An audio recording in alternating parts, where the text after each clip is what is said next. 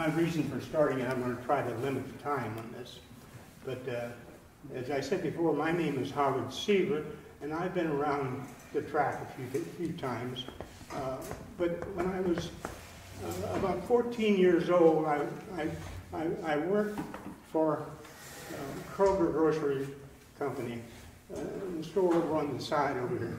And I was a, a, a bagger, so to speak. And uh, you were a bag man? I was a bag man. And uh, I, I started by carrying groceries out, you know, to the cars. And in those days, we'd carry them out, put them in the car, and, and uh, really did the, the service thing. Uh, Paul Keeler was my manager, and uh, if you remember Paul, he was about six foot four or five, pretty tall guy. Uh, and skinny. And skinny.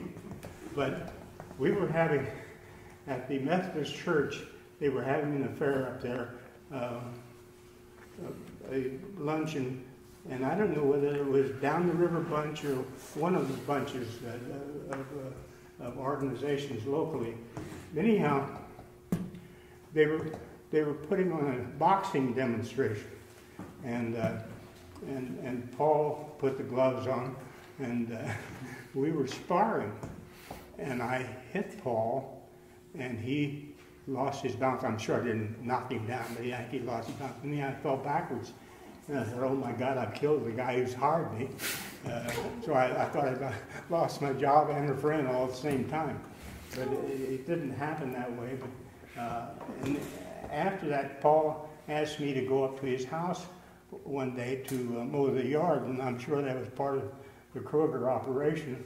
But uh, I, I went up to the house and mowed the, mowed the yard. And, and uh, about halfway through, his wife came out and, uh, and asked me to come in and have lunch.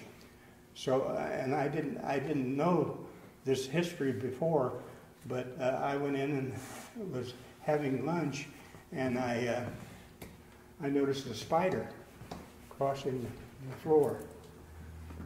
So I did, I thought, my manly duty, and I put the, the spider in heaven. and Mrs. Keeler got on me like the, I had done the worst thing in the world. I killed that spider.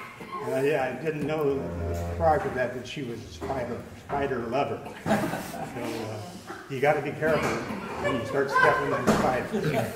You haven't killed one since, have you? I haven't killed one since, no. Thank you, and that's my story.